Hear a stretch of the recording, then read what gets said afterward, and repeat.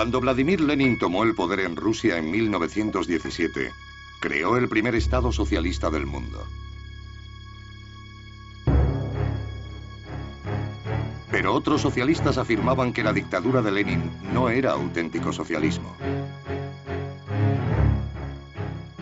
En los siguientes 60 años, personas que se llamaban a sí mismas socialistas, a menudo discrepando violentamente entre ellos, llegarían al poder en países de todo el globo, hasta gobernar a más del 60% de la humanidad.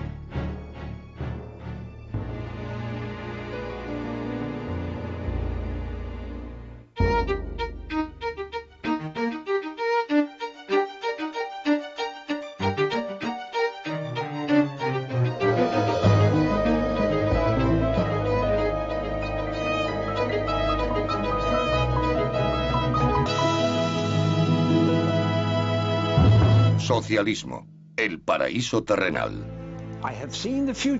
He visto el futuro y funciona. Esas fueron las palabras del periodista norteamericano Lincoln Stephen tras visitar la Unión Soviética en 1919. Aunque la revolución bolchevique aterrorizaba a mucha gente en todo el mundo, parecía validar la profecía de Marx de que el triunfo del socialismo sería inevitable. Soy Ben Wattenberg. Bienvenidos a la segunda parte de Socialismo, el paraíso terrenal. En esta entrega, la revolución comunista se extiende a China. El socialismo democrático llega a Europa y el socialismo emerge como un nuevo camino hacia el crecimiento económico en el tercer mundo.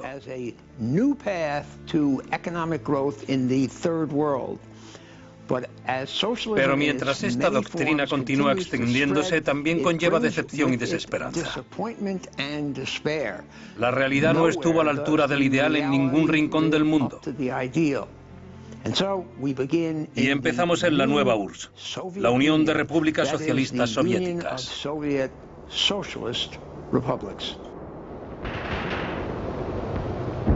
Vladimir Lenin murió de una hemorragia cerebral en enero de 1924. Tenía solo 53 años. Pero en su vida relativamente corta, había trazado un camino al poder para revolucionarios de todo el mundo. Lenin electrizaba, emocionaba, inspiraba y aterraba a gente de todo el mundo dependiendo de su mentalidad. Y lo que resulta curioso es que él diera vida al fascismo.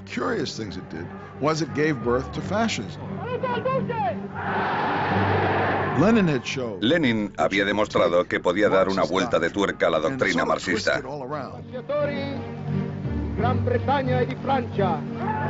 En Italia estaba Mussolini, quien decía que él también era un revolucionario.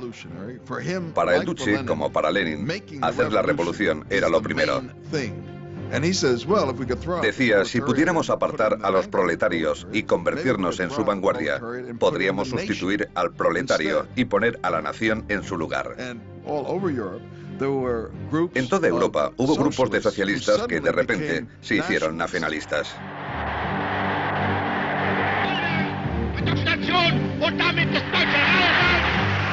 Uno, aunque no el único, fue Hitler, que propugnaba una nueva ideología de nacionalismo-socialismo que conservaba algunos principios socialistas, pero añadía un odio implacable a los judíos.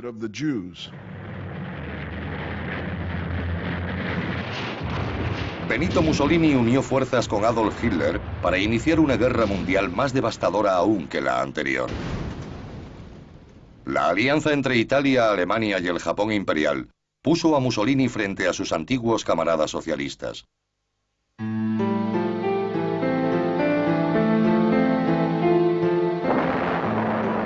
Al final, las grandiosas ambiciones del fascismo se desvanecieron.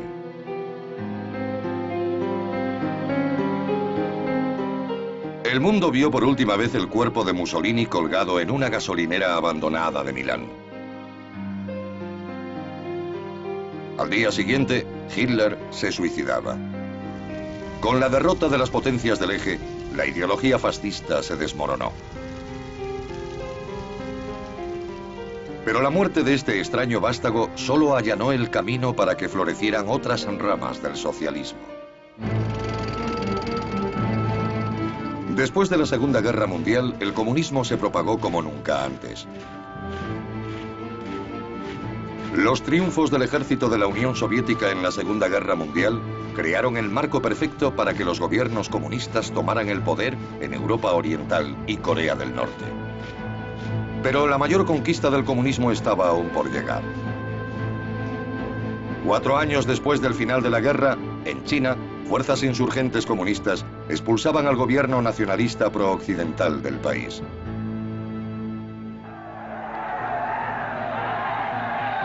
En enero de 1949, los comunistas entraron en Pekín para declarar el nacimiento de la República Popular China. Su líder era un intelectual de 55 años llamado Mao Zedong. Mao fue un auténtico revolucionario. No creía en la normalidad ni en la rutina. No le gustaba la burocracia. Movilizó a millones de campesinos para que se unieran a la revolución comunista. Mao dio a los chinos lo que se llamaría el cuenco de arroz, la promesa de seguridad económica. Pero el precio fue la sumisión.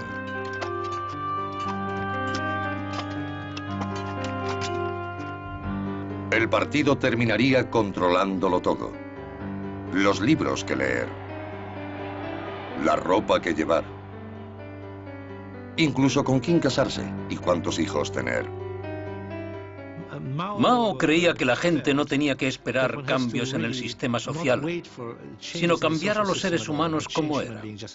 Eso significaba reeducarlos y apartarlos de su antigua cultura. Lenin permitió que su pueblo leyera los clásicos y tuviera acceso a la literatura antigua. Pero Mao cortó eso de raíz. Durante un tiempo solo pudieron leer los sandeces del libro rojo. Creía que así los podía apartar del pasado y crear nuevos seres humanos. China siguió el modelo soviético de industria nacionalizada y agricultura colectivizada durante casi una década. Pero los resultados fueron decepcionantes y Mao se impacientaba. Se desilusionó con el modelo soviético y pensó que podría mejorarlo imponiendo el comunismo de la noche a la mañana. Era un pensador utópico. Así fue como a finales de 1957 lanzó lo que se llamó el Gran Salto Adelante. En el centro del Gran Salto Adelante estaba una nueva institución china, las comunas populares más de 23.000, que integraban a 500 millones de personas.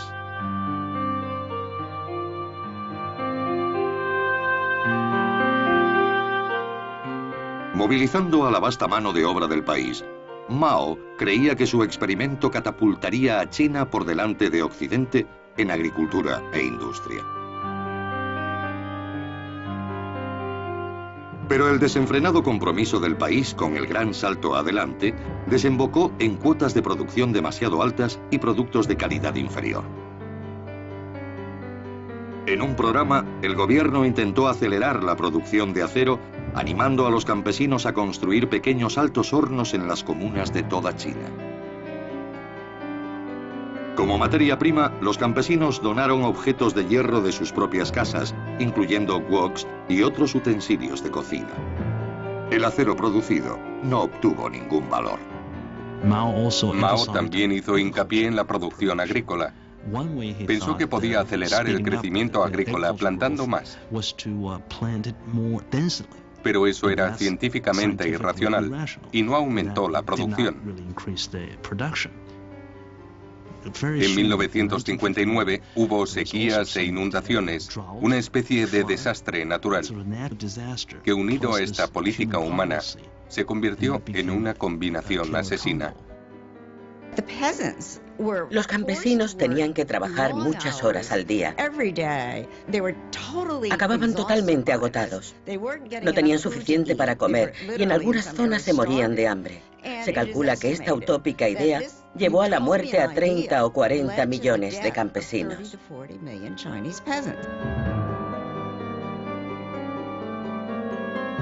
Un siglo antes, Karl Marx había soñado con la fase final del socialismo.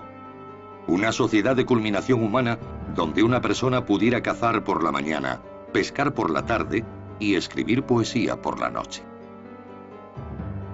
Lo llamó comunismo. En Rusia y China la palabra pasó a tener un significado muy diferente. Pero el comunismo no fue la única forma de socialismo que floreció después de la guerra. En Europa Occidental y otros lugares, una versión conseguía nuevos triunfos. Se llamaba socialismo democrático o socialdemocracia.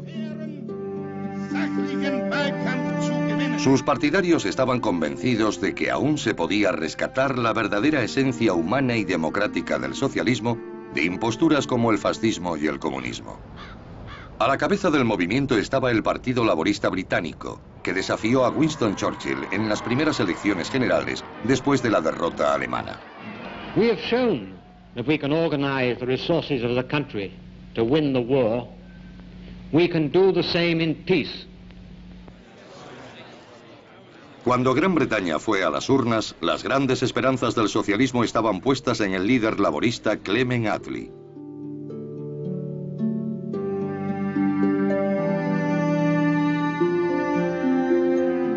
Clement Attlee era el tímido hijo de un famoso abogado londinense. Los Attlee tenían una casa de recreo y cinco criados. Eran cristianos fervientes y voluntarios activos. En primer lugar, hay que entender que Clement Attlee llegó al socialismo a pesar de sí mismo. No quería estar ahí. No era para lo que lo habían educado. Él tenía las opiniones conservadoras de un hombre de su clase de la época. Attlee se licenció en Oxford y se dedicó a las leyes. Entonces, una noche de otoño, su hermano le invitó a visitar una organización para niños desfavorecidos en el barrio de Limehouse del East London. Vio por primera vez las condiciones en las que vivían los pobres en Inglaterra y aquello le cambió la vida. Vio a niños muriendo de hambre. Vio grandes familias viviendo en pequeñas habitaciones inmuebles, sin comida ni calefacción. Vio la completa miseria en la que vivían los pobres y lo comparó con la vida en la que él se había criado.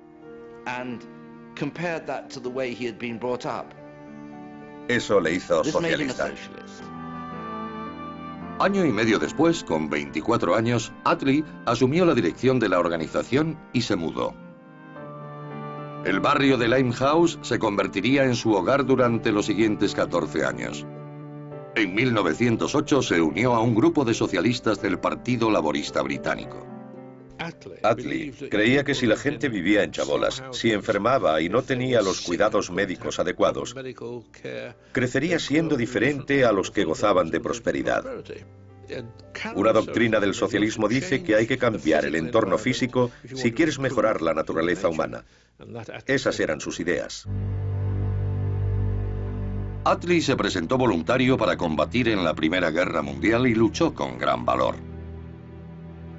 Cuando el gobierno movilizó la economía para la guerra, él y otros pensaron que el socialismo podía funcionar. La influencia de los socialistas dentro del Partido Laborista crecía. En 1918 revisaron su doctrina para apoyar la propiedad colectiva. El Partido Laborista Británico no había empezado como socialista, sino como laborista, como una manera de que los sindicatos obreros tuvieran más representación en la política. Pero después atrajo a más intelectuales socialistas de clase media.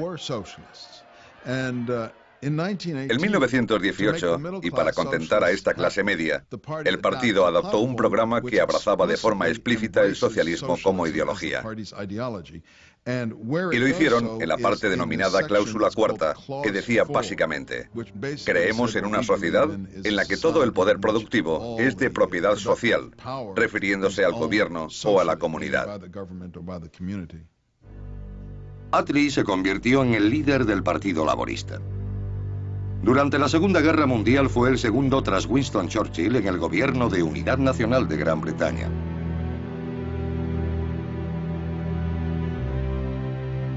Cuando se alcanzó la paz, gran parte del país estaba en ruinas. En junio de 1945, la nación celebraba sus primeras elecciones generales en casi una década. El triunfo se lo disputaban Winston Churchill y Clement Attlee. Dos hombres que se habían unido para luchar contra los alemanes, pero que ahora tenían diferentes visiones sobre la reconstrucción del país. Si le preguntaban a cualquier familia británica, incluidos los laboristas más fervientes, a quién sentarían a cenar en su mesa, habrían elegido a Winston Churchill en vez de a Clement Attlee. Pero Churchill parecía simbolizar el pasado, el desempleo, la pobreza, la falta de servicios médicos, un inadecuado sistema de educación. Attlee era una figura mucho más retraída, un hombre de pocas palabras, con poco carisma personal, pero que simbolizaba lo que quería el pueblo británico. A mediodía del 26 de julio, los resultados estaban claros. Los laboristas conseguían una victoria aplastante. Never before have the electors shown clearly their desire that there should be in this country a Labour government carrying out Labour's full policy. Nunca antes el socialismo había ganado de forma tan clara un mandato.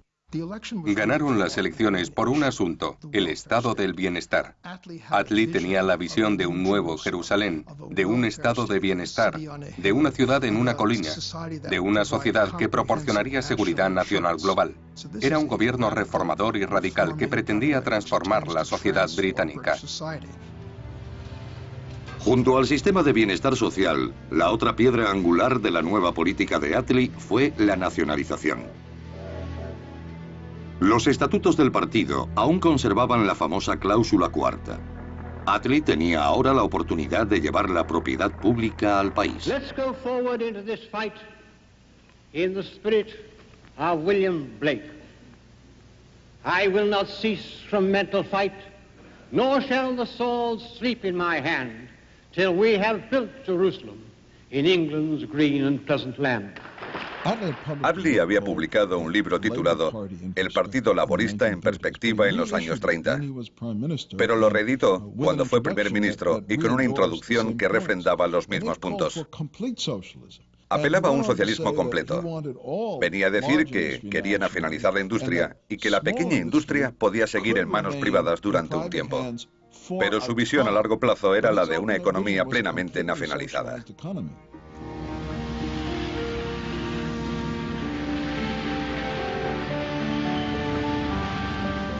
El gobierno de Attlee permanecería seis años en el poder. Antes de dejar el cargo en 1951, había nacionalizado gran parte de la industria del país y había introducido una serie de programas para el bienestar social. Nacionalizó la industria del carbón, el ferrocarril, el acero, el transporte por carretera, el gas y la electricidad. Creó un Servicio Nacional de Salud, de Seguridad Social, Estableció un sistema de pensiones por derecho que dignificaba a los mayores. Fueron seis años de mucho trabajo. No creo que ningún gobierno haya hecho tanto. Mientras el gobierno de Attlee utilizaba el socialismo para reconstruir Gran Bretaña, en otro lugar del mundo, la doctrina se usaba para construir una nación. Una Gran Bretaña rota por la guerra ya no podía mantener su imperio en el extranjero. Y uno a uno, colonias y territorios empezaron a independizarse.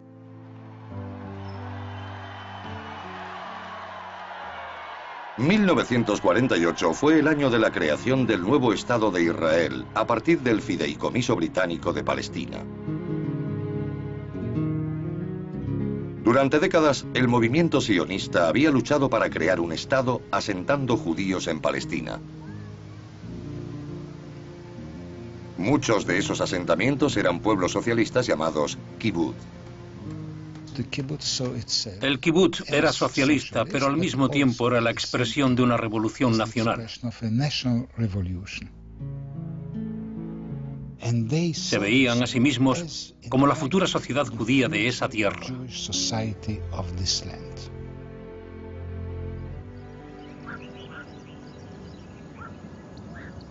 El kibbutz Ginosar está situado en la orilla occidental del mar de Galilea.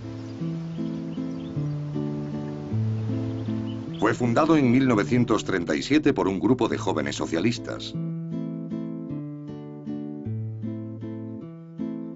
Pronto se convirtió en la base del Palmac, la unidad de élite de las fuerzas de defensa judías.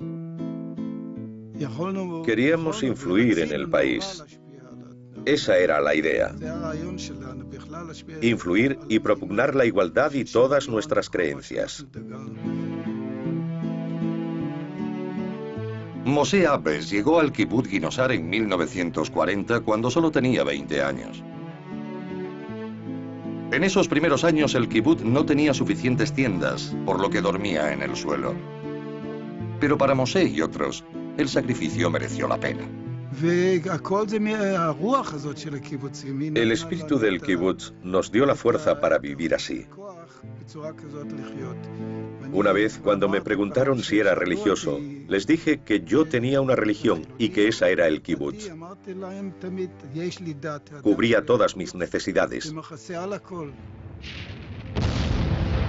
En 1948 estalló la guerra de independencia y las fuerzas del Palmac, con base en el kibbutz, encabezaron la victoria judía. Con el apoyo del nuevo Estado de Israel, Ginosar empezó a prosperar. Se construyeron casas permanentes. Se inició una rentable política de pesca. Se empezaron a criar pollos. Producían leche y miel y se sembraron plátanos, mangos, olivos y tomates.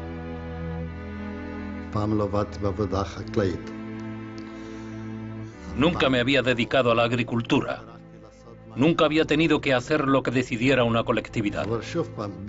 Pero debido a todo lo que había sufrido en el pasado, no me resultó difícil. Isaac Rotem se estableció en Ginosar en 1948. Es uno de los cientos de miles de judíos europeos llegados a Israel tras el Holocausto.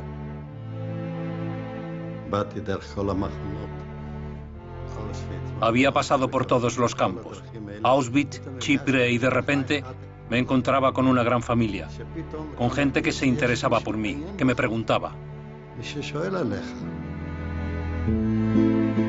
El kibbutz era socialismo a escala humana.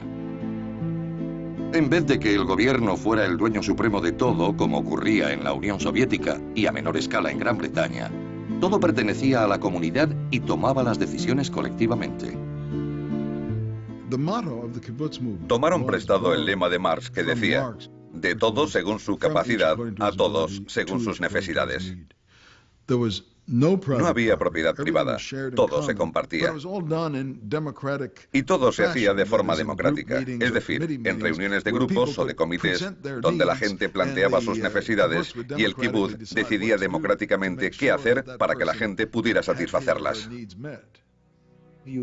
No necesitábamos un salario porque había comida en el salón y ropa en unos almacenes especiales. Al principio ni siquiera había ropa propia. El almacén la distribuía semanalmente para todos los miembros. Te podía tocar una camisa que otro miembro hubiera llevado la semana anterior.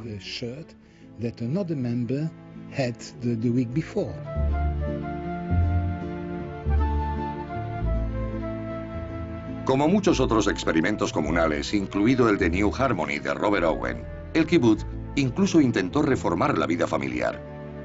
Habría nuevas normas para maridos, mujeres, padres e hijos. La mitad de los miembros del kibbutz eran mujeres. La idea es que estuvieran liberadas, no de la carga de los niños, porque eso era imposible, pero sí liberadas de tener que criar a sus hijos, de la colada, de la cocina, de todas las cosas de las que normalmente se encarga una mujer. Decidieron que criar a los hijos era responsabilidad del colectivo. Los niños pertenecían a todo el mundo y todos eran responsables de su cuidado. Ya no tendrían que estar bajo la tiranía de unos aburguesados padres. Serían miembros libres de una sociedad infantil y vivirían en grupos de la misma edad.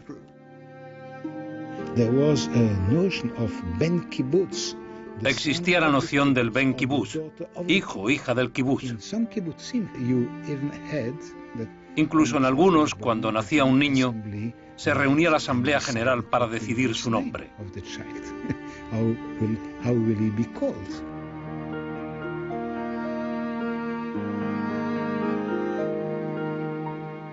Guinosar llegó a albergar a casi 400 adultos.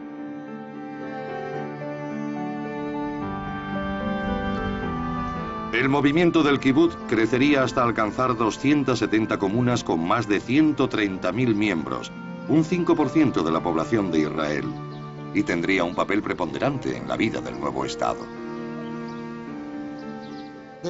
Para empezar, marcaron la frontera en el norte, el oeste, el sur, en todas partes. Allá donde hubiera un kibbutz estaba Israel. Hicieron mucho por la agricultura. Pasó el tiempo y aportaron su granito de arena a la industria. También contribuyeron políticamente. Los dos primeros ministros fueron miembros del kibbutz. En el primer gobierno lo eran casi la mitad. Una quinta parte del parlamento eran miembros de estas comunas. Al principio, todos los jefes del ejército también lo fueron. Me atrevo a decir que sin los kibbutz no habría existido el Estado de Israel.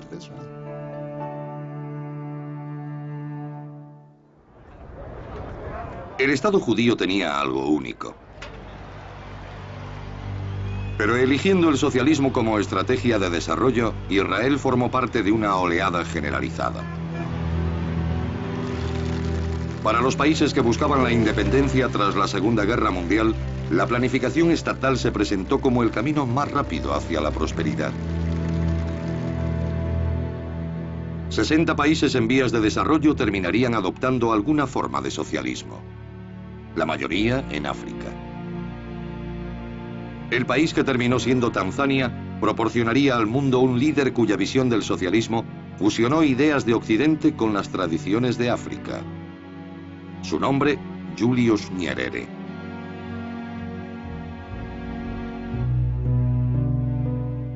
El padre de Nyerere era un jefe tribal de noroeste de Tanganica, como se conocía entonces el territorio británico.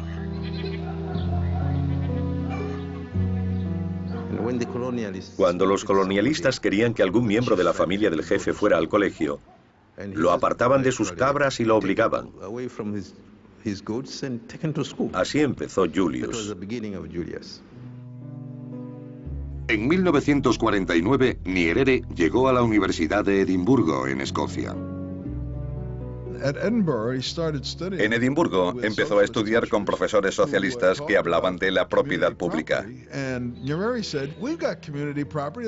Nyerere les dijo que eso se hacía en su tribu. De repente parecía como si las prácticas a las que él estaba acostumbrado, consideradas siempre atrasadas y avergonzantes, se correspondieran con el pensamiento social más avanzado del momento, que era la sociedad que los europeos propugnaban. Cuando Nyerere regresó a Tanganica en 1952, el malestar colonial se había extendido por todo el continente. En el norte, Kenia estaba inmersa por la violenta rebelión de los Mau Mau. Tanganica permanecía en paz, pero los rumores de independencia estaban en el aire. Nyerere consiguió trabajo como profesor, pero encontró su verdadera vocación en la política.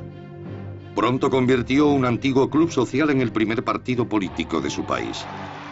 Mientras el partido atraía a miles de seguidores, él conservó el título de su primera profesión, mualimu, la palabra suajili para profesor.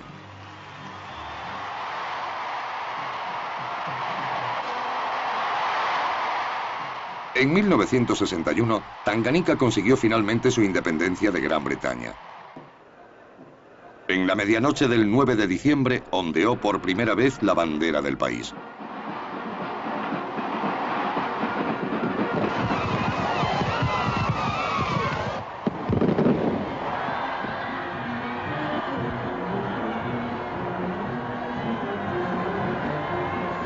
Al año siguiente, Tanganica invistió a Julius Nyerere como su primer presidente. Fue elegido con más del 98% de los votos. Nyerere se dispuso a acabar con los tres dragones que asolaban el país. La ignorancia, la pobreza y la enfermedad. Su arma sería el socialismo, fusionado con las antiguas costumbres tribales de África. La palabra que usó para describirlo fue Uyamaa, clan en suajili. Mi padre creía en el socialismo. Después de la independencia, la mayoría de los tanzanos eran analfabetos. No éramos ricos, así que había que avanzar juntos. Rosemary Nyerere nació el mismo año que su padre llevó al país a la independencia. Ahora es miembro del Parlamento. Mi padre solía decir, no hay nada nuevo porque así es como vivimos. En un típico pueblo tanzano no se ven núcleos familiares formados por madre, padre e hijos. Nosotros tenemos mucha gente viviendo alrededor. Nos ayudamos unos a otros. No es nada nuevo. En 1967, Tanganica se unió con la isla de Zanzíbar para convertirse en Tanzania. Nyerere llevaba más de cuatro años abogando por su socialismo africano, pero aún no lo había impuesto en el país. Entonces decidió convertirlo en ley. Nyerere diseñó el camino hacia el socialismo en un discurso que fue conocido como Declaración de Arusha. Fue una declaración, no solo para Tanzania, sino para toda África. Otros africanos se fijaron en él porque era el intento más completo y más ambicioso de crear una especie de manifiesto comunista para África. Nyerere nacionalizó bancos y grandes industrias prometiendo dar a los obreros el control de los medios de producción. Las inversiones extranjeras serían rechazadas en nombre de la independencia. Según Nyerere, el socialismo prepararía el terreno para la verdadera independencia. Con la declaración divulgó muchas cosas, una especie de utopía. Parecía que junto al desarrollo económico se creaba un nuevo ser humano. Era una teoría que se preocupaba por la gente. Fue un periodo muy emocionante. Nyerere animó a los tanzanos a convertir sus comunidades en cooperativas, a las que llamó pueblos Uyamaa.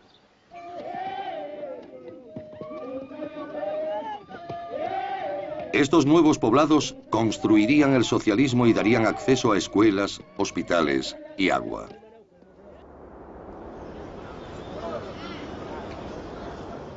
Frente al puerto de la capital, Dar es Salaam, Gesalole se convirtió en pueblo Uyamá en 1971.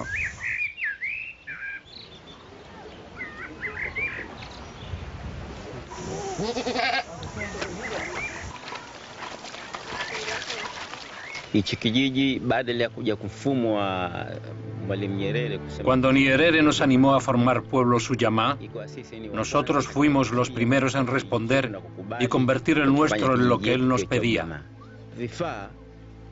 Cuando empezamos a llevar ese modo de vida, pudimos construir instalaciones para las aves y la pesca.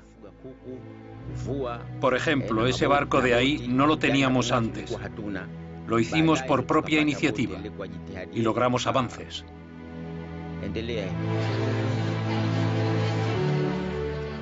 La visión de Nyerere del socialismo africano consiguió la admiración de muchos países de Occidente.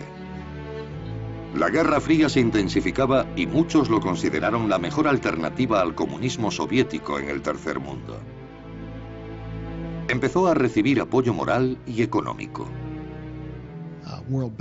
Empezaron a llegar presidentes del Banco Mundial, jefes de agencias de ayuda. Los estudiantes pasaban medio año o un año en la Universidad de Dar es Salaam. A mediados de los años 60 y principios de los 70, la universidad era un gran centro de reuniones. Fue un intento serio y razonable de socialismo. Existía la sensación generalizada de que había que apoyar ese experimento.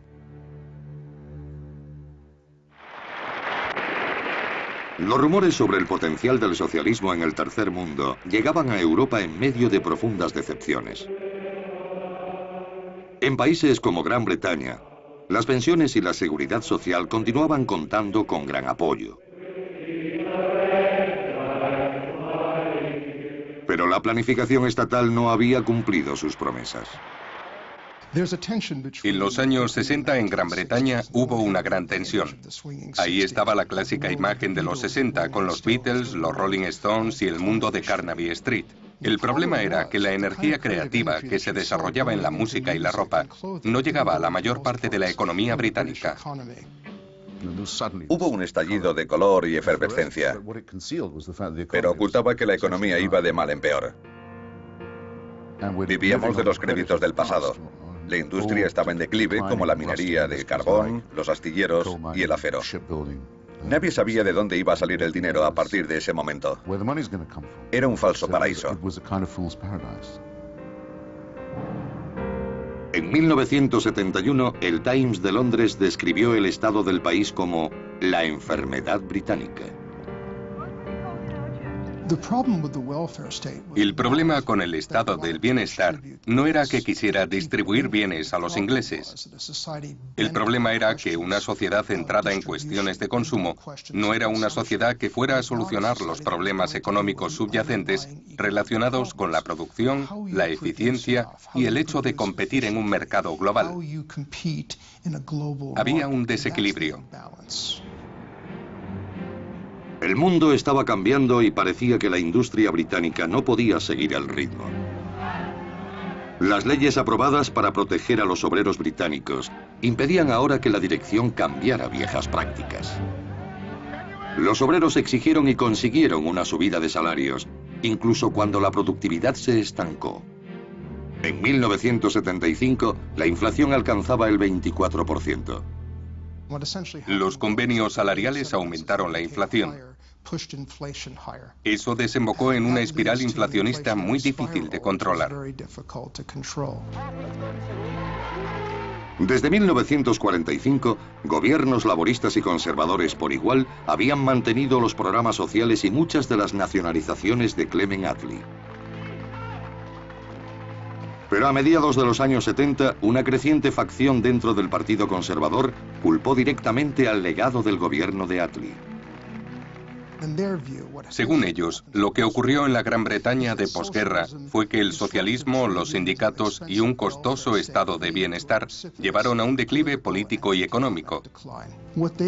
Aquel estado de bienestar creó una cultura de dependencia, privó a la gente de iniciativa, de responsabilidad, afectó al mercado, imposibilitó que el país hiciera nada.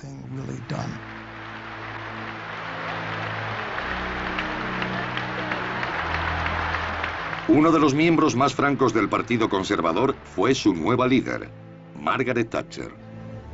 Madam Chairman, ladies and gentlemen, I presume this is to enable us to sweep Britain clean of socialism.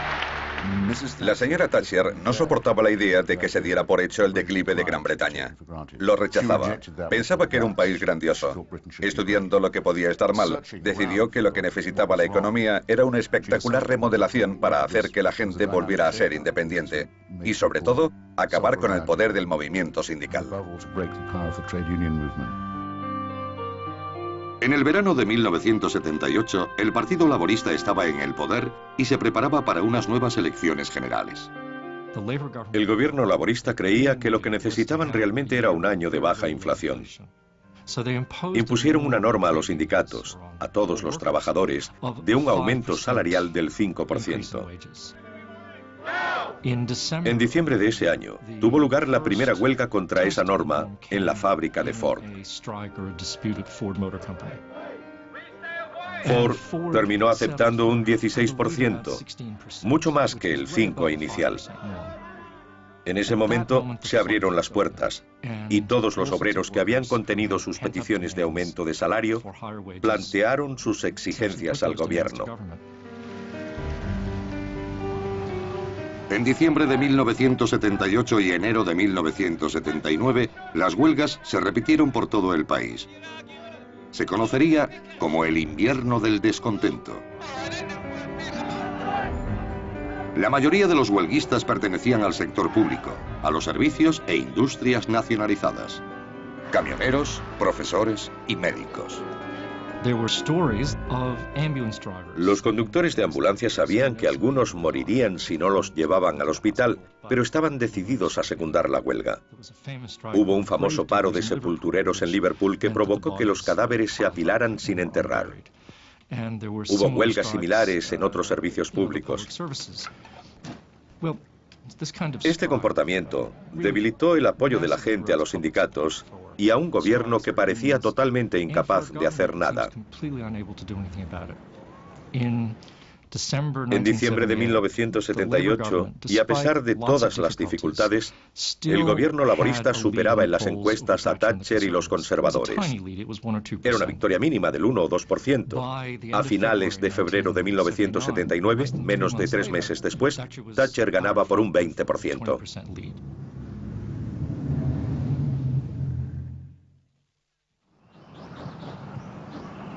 En Israel, el socialismo también estaba perdiendo parte de su tirón. Los fundadores del movimiento kibbutz habían creído que el modo de vida comunitario arraigaría con el tiempo. Pero los años pasaban y la tendencia de los kibbutz se apartaba del colectivismo. Al principio nos daban ropa una vez a la semana del almacén. Después hubo armarios y todos teníamos nuestra ropa en casa. La comida estaba en el comedor, pero al final todos teníamos una nevera. Después empezamos a tener algunos productos en casa, como refrescos o fruta. גם כן פרודוקטים או שתייה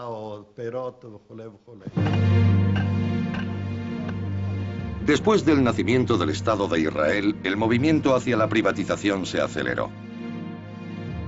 Los miembros empezaron a recibir pequeñas asignaciones para gastar como desearan. Los cambios también se extendieron a las familias. Los niños de los kibbutz habían vivido y dormido en una casa comunitaria. Pero a principios de los años 70, algunos padres empezaron a cambiar de opinión.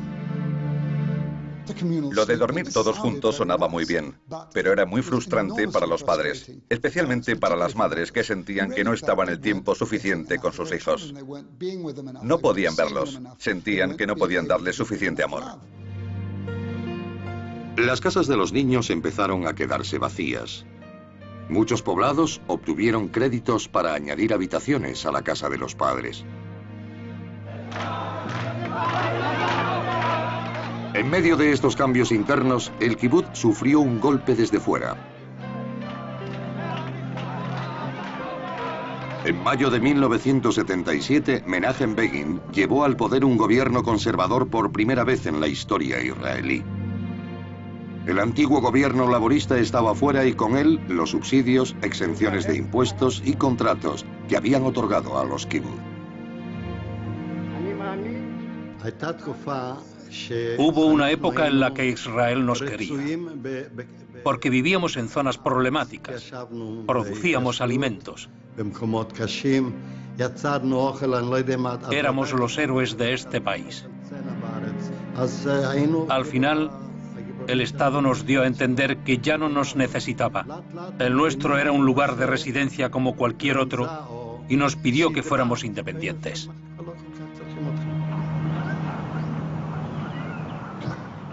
Los kibbutz aún eran comunidades socialistas, pero los problemas prácticos provocaban un mayor desequilibrio entre el ideal y la realidad.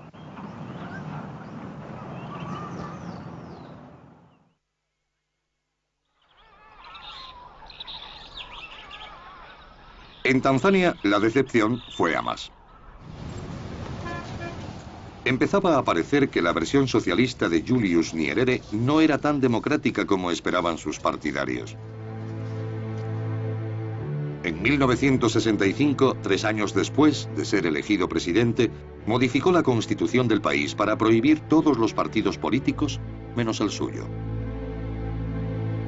En cierto momento le preguntaron si un sistema de partido único incluiría garantías contra el abuso de poder. To some extent there are, there are safeguards, but uh, I have sufficient power under the Constitution to be a dictator. This is a dilemma of this movement. Sometimes you build the leader to the extent that at, at the end when you have you think you have become free, the fellow has become so powerful you don't know what to do with him. Nyerere buscaba más allá de Occidente un modelo de socialismo que encajara más con un país pobre como Tanzania. En 1965 hizo su primera visita a China. El año que fuimos a China, Tanzania sufría hambruna. En aquel momento éramos solo 15 millones de personas. En China había mil millones y todos comían. Mil millones. Hacían sus propios ferrocarriles, tenían ingenieros, construían sus casas y carreteras. Y nosotros no podíamos hacer ni siquiera un puente. China empezó a interesarse por el desarrollo de Tanzania. Terminaría contribuyendo con más de 2.000 millones de dólares en ayudas, más de lo aportado por cualquier otro país. La amistad entre ambos estados se intensificó y la visión de Nyerere del socialismo pareció virar cada vez más hacia el modelo chino.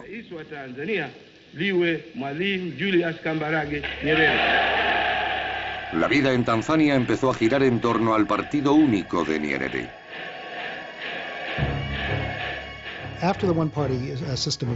Después de que se pusiera en práctica el sistema de partido único en 1965, el país empezó a ser cada vez más autoritario. Se estableció, por ejemplo, la Juventud del Partido, que pretendía de alguna manera imitar a la Guardia Roja de China. Los grandes periódicos eran del régimen. Los medios de comunicación estaban bajo el control del gobierno. El movimiento de sindicatos independientes fue absorbido por el partido gobernante.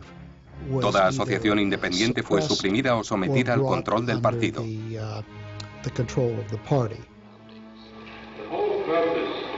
En 1967 el país empezó a revisar sus escuelas, desechando el viejo sistema occidental.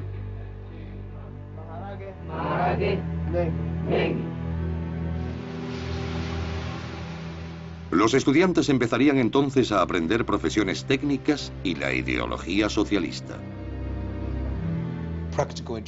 Dejó de estudiarse ciencia, física, química y biología. Decían que eso era un triunfo, pero para nosotros fue el final de todo. Christopher Tequila es pastor de la Iglesia de la Salvación de Dar es Salaam y líder del partido de la oposición en Tanzania.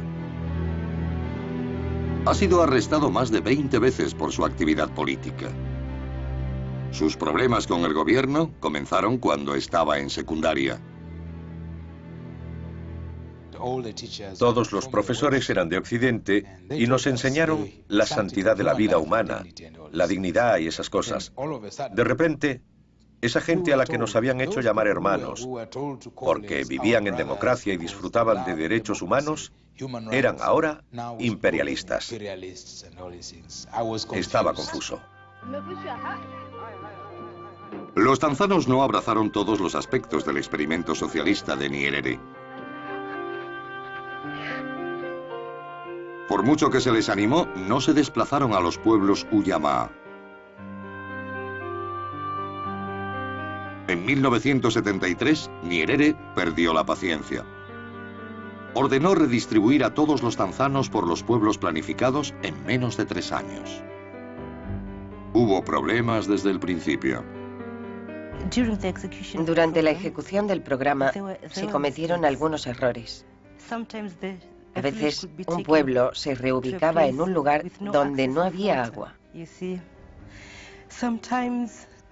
A veces los hombres del gobierno se comportaban de una manera brutal. Esas cosas pasan a veces.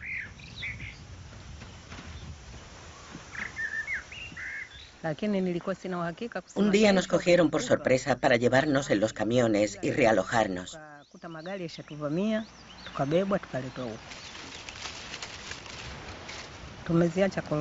Tuvimos que dejar las castañas allí, cuando estábamos a punto de recogerlas. El pueblo de Satuni Abasi fue reubicado en 1974. No todos quisieron irse.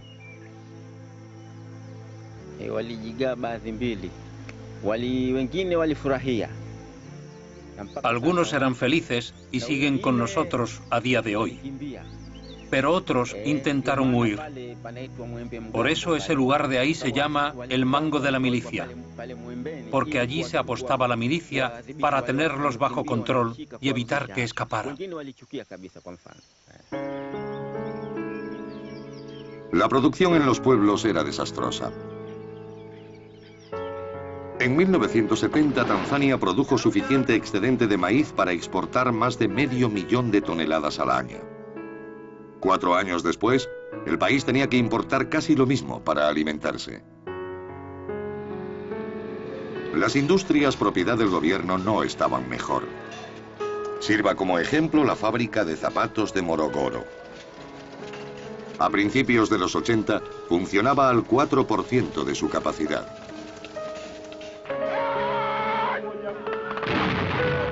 Conflicto en la frontera de Tanzania con Uganda y una crisis internacional del petróleo golpearon aún con más fuerza la economía. Después de la guerra, las cosas empeoraron. Había escasez de todo. Recuerdo tener que caminar hasta Kenia para volver con pasta de dientes, jabón y cosas así. Tampoco había mucha comida. Se pasaba hambre.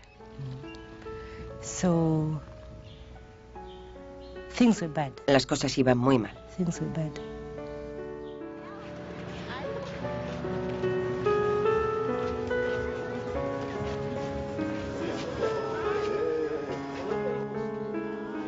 Julius Nyerere había logrado crear una nación, pero el socialismo no había conseguido hacerla próspera.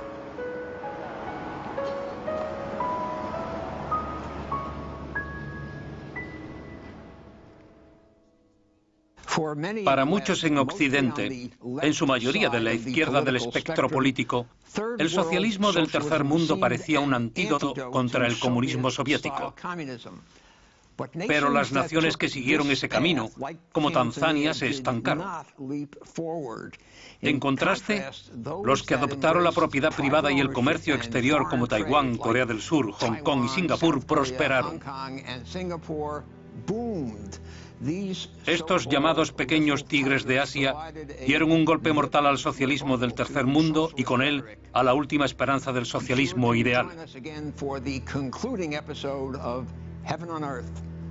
No se pierdan el episodio final de Socialismo, el paraíso terrenal.